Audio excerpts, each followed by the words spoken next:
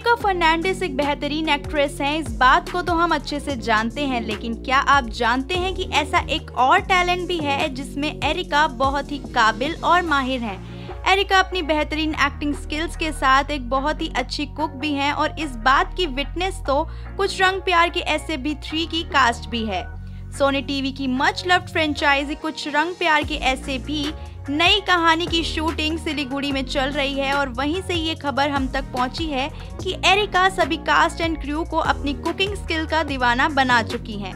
Outdoor shoot के दौरान areca काफ़ी बार अपने को स्टार्स और क्रू मेंबर्स के लिए बड़े ही प्यार के साथ अनेकों डिशेस बनाती हैं मटन बिरयानी से लेकर चिकन ग्रेवी और टेस्टी भजिए तलने तक एरिका सेट पर सभी को अपनी कुकिंग का दीवाना बना चुकी हैं।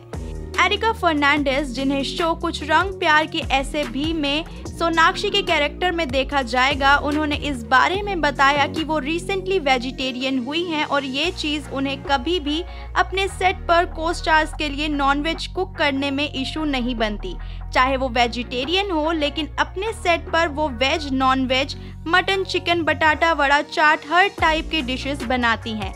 सभी घर का खाना मिस कर रहे थे तो ऐसे में उन्होंने शूट के बीच में जब भी टाइम मिलता, वो सभी के लिए कुछ ना कुछ बनाती रहती थी।